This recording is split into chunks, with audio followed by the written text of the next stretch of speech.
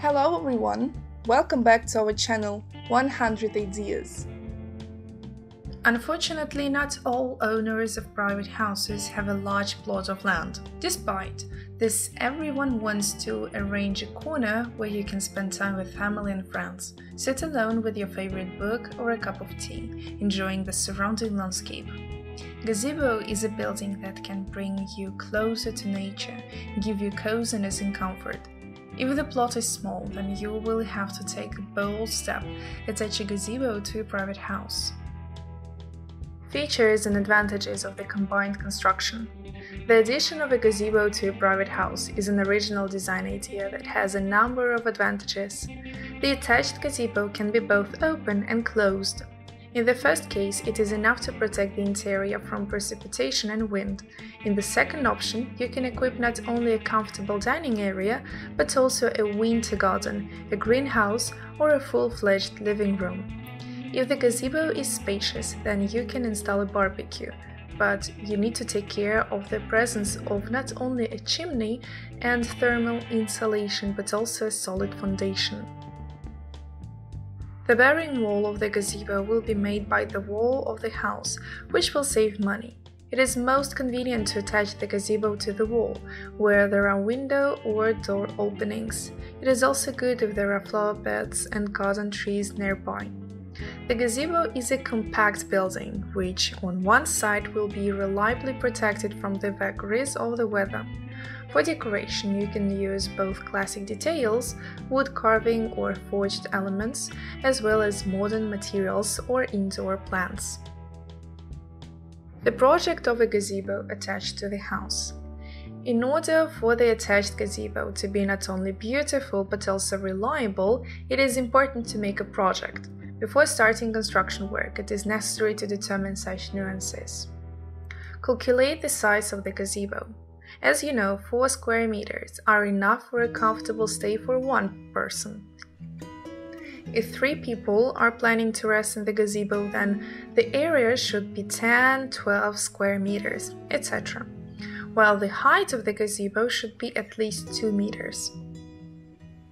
Determine the type and the characteristics of the soil, which is important for laying the foundation and determining its type.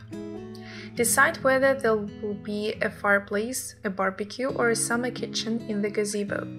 Choose the type of construction, open or closed.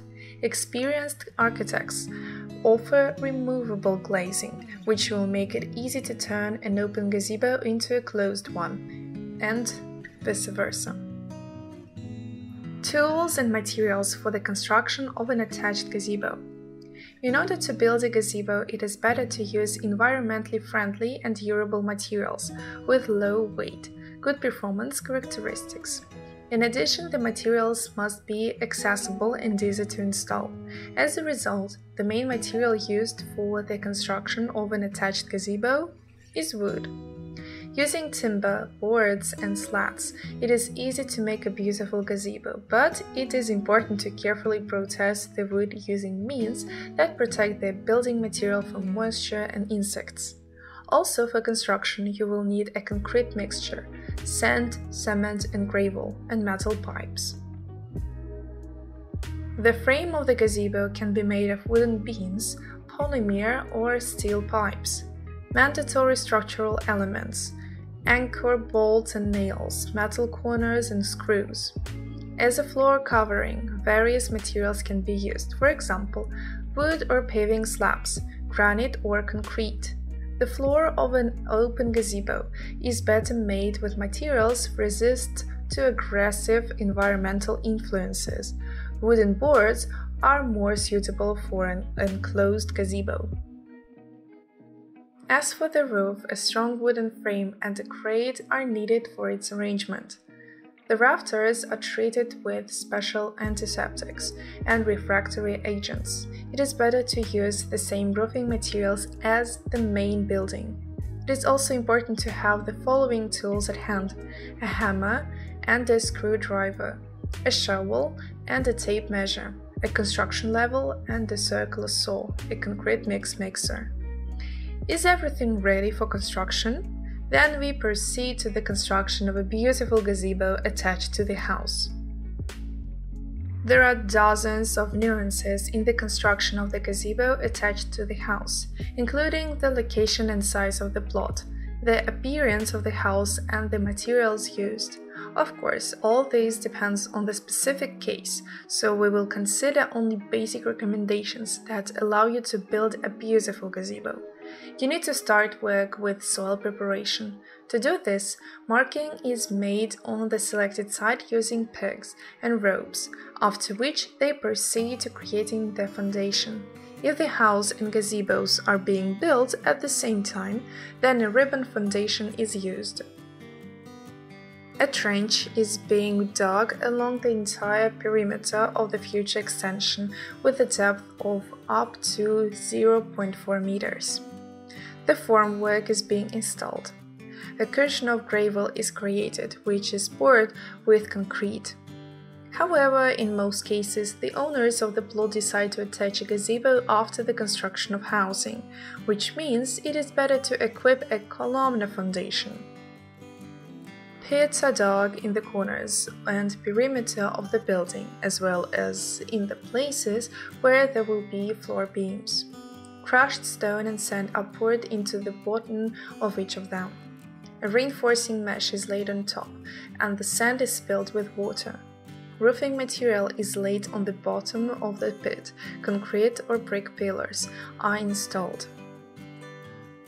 Wooden formwork is being installed. The structure is filled with concrete. After three weeks, you can proceed to the next stages of construction. The frame of the building is better made of wood. A lower building of beams is installed on the foundation. Installation of a diagonal bundle. The walls are being forced out. It is better to use metal corners for connection. Installation of the upper bind of the structure.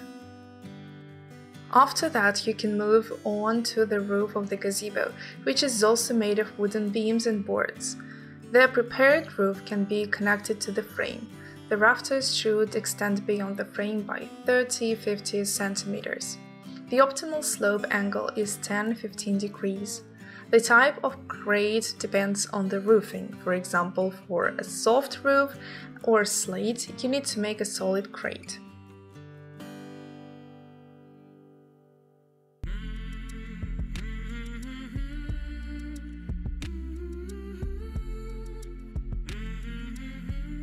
We hope this video was useful to you. Like it, write your comments and subscribe to our channel.